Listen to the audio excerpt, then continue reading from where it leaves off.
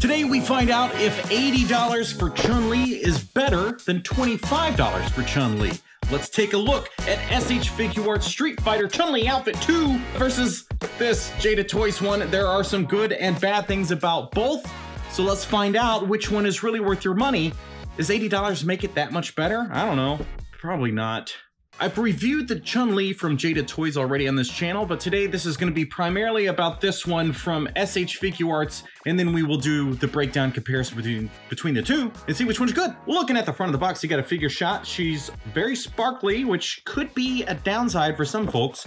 Back of the box, you got some figure shots, you got some stuff, and you got a fight mode showing Ryu, Ryu, Ju, We'll just say all three versions.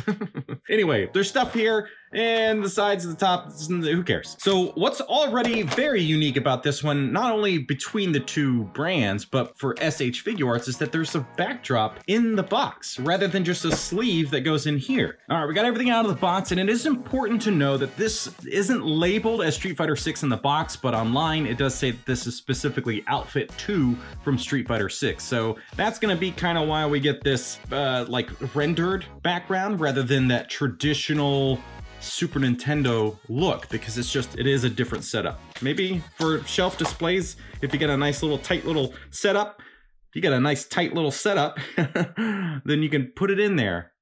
Well, that's just getting weird. So you get a stand for this kick effect, but let's check out the instructions sheet. So as you can see, you get alternate faces. It tells you in classic SH Figuarts figure uh, fashion how all this stuff works.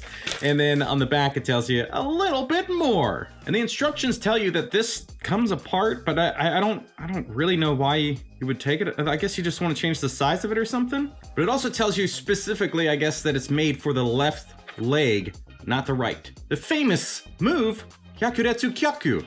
Duh. All right, on to the main event, ladies and gentlemen.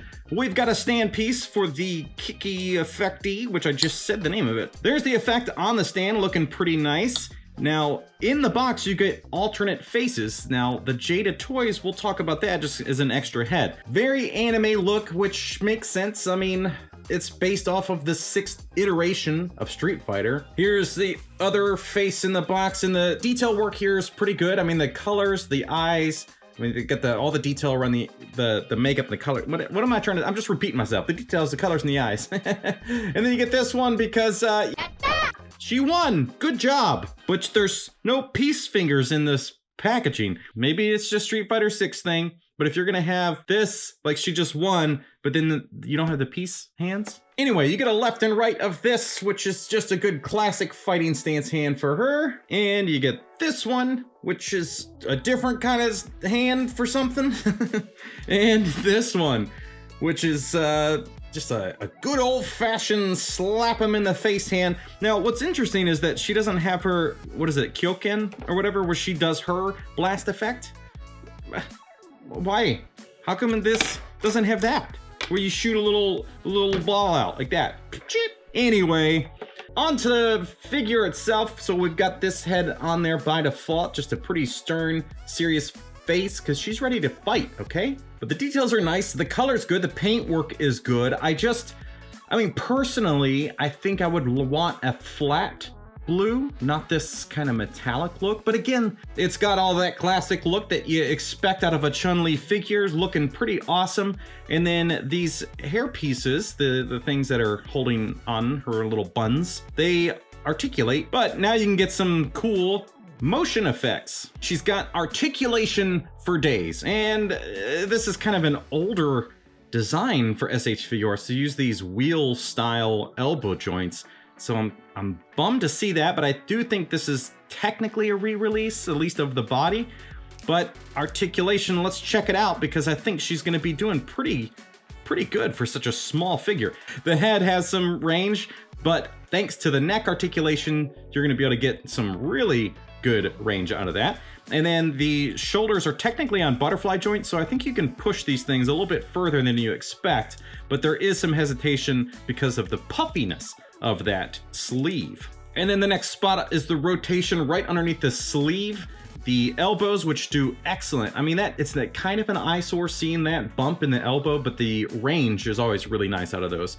And then from there, you get standard wrist articulation on a little ball joint, so you can get basically whatever shape you want, and then the her little spikes move. From there, you got some great torso you got some waist articulation, which is basically uh, classic SH Figuarts. I mean, you're gonna get the articulation that really, to me, is is the shining star from anything from the brand. Almost, almost always the case, sometimes not. So there you go. Wow, this is fantastic. Knee is the same kind of like circular design, but again, great for articulation. There's no rotation down the leg, but then you get the ball joint on the ankle, which is also really good. And toe articulation, which I'm a huge fan of, especially for posing. Another thing I love about the brand is they usually get a lot of faces in there because they're not doing a full head sculpt. So I think they can afford to give you more options by just making it half the amount of plastic. Now, the whole point of this video really is to compare what you get from SH Figuarts for $80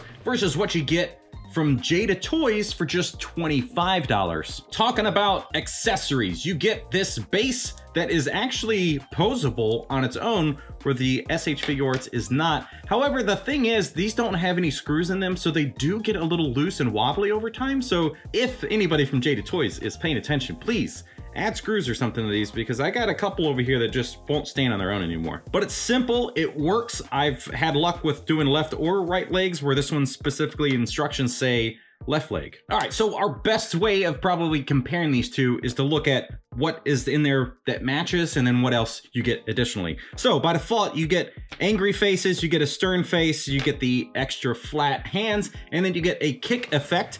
And then over here, you're getting two extra face plates and two extra sets of hands. So you do certainly get more, but $25 and $80. I don't think there's a price difference over here that justifies that. However, we know there's more going on here than just that. The paint applications, the details are certainly different, but let's try to compare the facial expressions. So as you can see, Jada Toys goes straight with an alternate head, and rather than doing faceplates, again, I am a huge fan of faceplates. You can see there's a huge difference in the color, the, the skin tone, but that's also, we're looking at two different games. And the other thing with Jada Toys is that these uh, hair pieces are just rubber in there, so you cannot articulate them. So, you know, but it's 25 bucks. So you can't be mad about that. Now, for $25, you also get a great range, honestly, on this character. So you get the head, the neck, you get the arms that do surprisingly well considering that there's so much going on there. There's no butterfly joints or anything like you get over here with SH Figuarts, but still, even this articulation's great, the legs are great, and then because she has these thigh swivels, she still has really good range going all the way down. And then double jointed knees. This is just, it's a blue plastic with yellow paint. So there's less paint on this thing, but it works really well, especially pulling from an old video game with only 16 bits. And and it was double jointed elbows. Uh, so they the arms also just look mostly better? I don't know. That's a huge gap right there. Anyway so this is still fantastic. 25 bucks you get this thing. And now they do have, uh, or they have teased a Player 2 version of this Chun-Li, which she comes in a different color, and comes with an alternate head, where she wins at the end, and then comes with the peace hands. So at that point, you're looking at, you get two Chun-Li's for 50 bucks, and then it's still cheaper than one SH Figuarts. This isn't a premium figure price-wise. It's not listed as that. This is a very achievable, affordable figure. It's kind of better in a lot of different ways, but as you can see, there's a lot of design differences between the two of them because we're coming from two different versions of Street Fighter. And if you like anime stuff and you're trying to blend your figures in with anime, maybe you got some other SH Figuarts things, this is probably going to fall in line a lot nicer than the Jada Toys one. So while there are some really great things about this SH Figuarts figure, and as a fan of the brand, I it, it makes it kind of sad that I have to say that the Jada Toys is the better option. So if you have the difference of 25 and $80, then yes, get the Jada Toys Chun-Li. And you can order her online, so you don't have to worry about the kind of the hassle of trying to find her in a Target, even though she should be a little bit easier to find these days as it's been some time, but maybe not. You tell me down in the comments. And if you started this video knowing this channel and you said, hey, he's definitely gonna pick at SH Figuarts, do you, did you say that? Did you think that? Or did you know that I would switch it up and say, because I'm not crazy. 25 bucks, do it all day, and then you can also buy the second player version to get all the other accessories and kind of match what you're getting here for less. It's crazy. Jada Toys is killing it. They're doing a lot of stuff. I highly recommend you check out that brand, follow them, see what they're doing. They're not just die-cast cars anymore. Save your money, get a Jada Toys. Why did I buy this? I don't know. And if you enjoyed this and you want to see a deeper detailed review of Chun-Li from Jada Toys, then click the top link there. Thank you so much for watching. We'll see you next time.